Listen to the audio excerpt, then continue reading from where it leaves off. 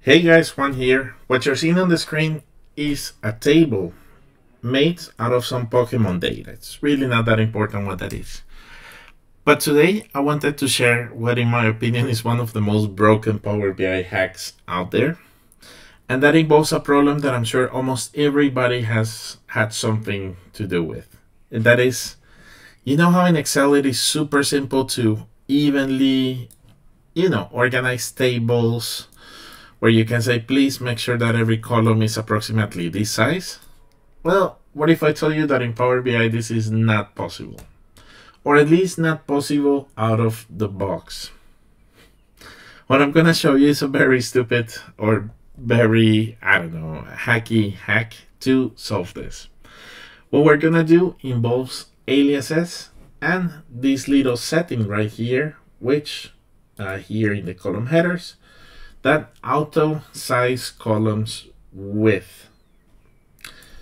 What I do for this is, of course, take some sort of uh, screen cap to remember the order of the table. And I'm not going to say that this is a practical hack in any way, but we're going to alias every possible field using, oh, let's say maybe legendary.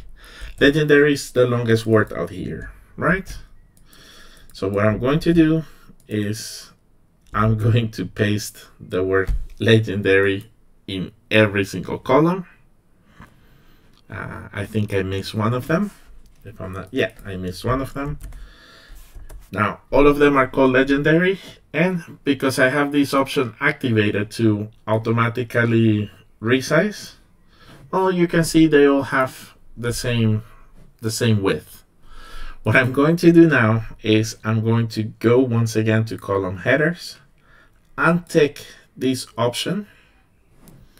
But by now the damage is done. Now they're evenly spaced considering that they, they have the name legendary. And now what I do is I just rename them once again.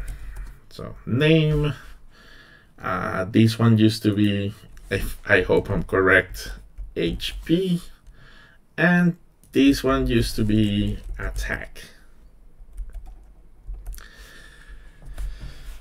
later on you can decide if, if you want to center these things you, you probably should. It would look much better.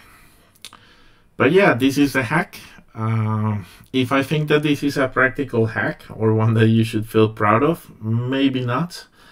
But if this helped you in any way then this video was definitely worth it.